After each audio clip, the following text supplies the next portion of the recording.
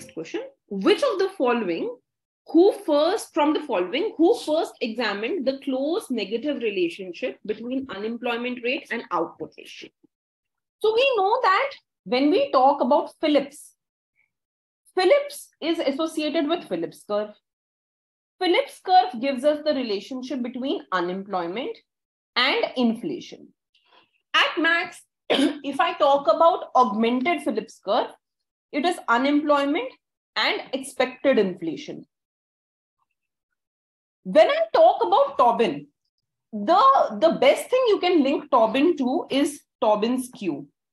Again, we did a question on this in our mock paper also. So Tobin's Q, you can link him to capital. What is the desired amount of capital and what's the actual amount of capital? Okun, on the other hand, can be linked to the Okun's law. And he's the one who determines between unemployment and output.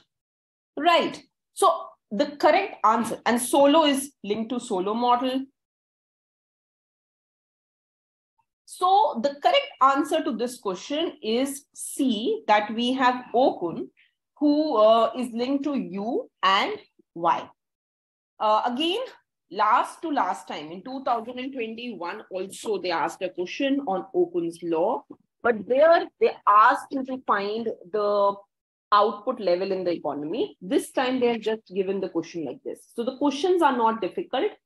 You should be thorough with the equation of Okun's law, with Tobin's Q, with the Phillips curve equation, with the AS curve equation, which links Y and pi inflation and output with the Solow model equation. So equations have to be very thoroughly done from this uh, topic. Okay, come to the next.